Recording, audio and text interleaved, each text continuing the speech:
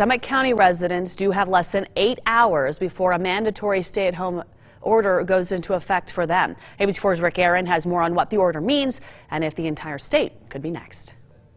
Starting one minute after midnight, all of Summit County's 42,000 residents are supposed to stay inside their homes until May 1st, possibly longer.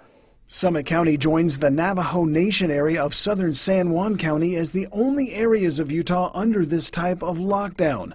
Under the Summit County order, the only businesses open will be grocery and convenience stores, restaurants for drive through and takeout only, banks, post offices, and hardware stores. Residents can only venture out for the following essential services healthcare facilities, plumbers, electricians, and auto repairmen, farming, and transportation services. I think everyone's like still super surprised. They're shocked. Um, I don't think people realize like the, how bad it is. I know that this time next week, the, the hospitals here are going to be completely packed. They're going to be over capa- you know capacity. Colby Larsen's five art galleries on Park City's Main Street will be closed, and his employees will be sequestered at home, as will the Weathers family. We've already been living as if we had a shelter in place order going out only for essentials anyway.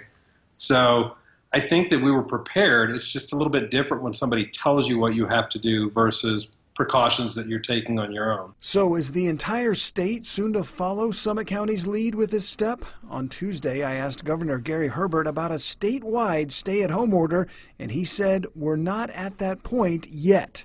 We want to protect the health and welfare of the people, and yet we want to make sure that the economy doesn't completely tank either. So they're both joined together. Uh, we'll be reviewing our uh, restrictions that we have in place today. Uh, we'll be doing that ongoing. Uh, there may be some additional issues that we want to talk about in the upcoming days or week.